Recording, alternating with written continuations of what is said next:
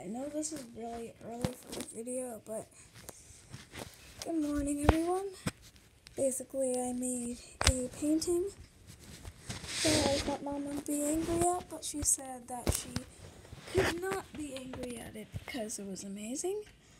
So, what do you guys think? Should, should my mom be mad at this or what?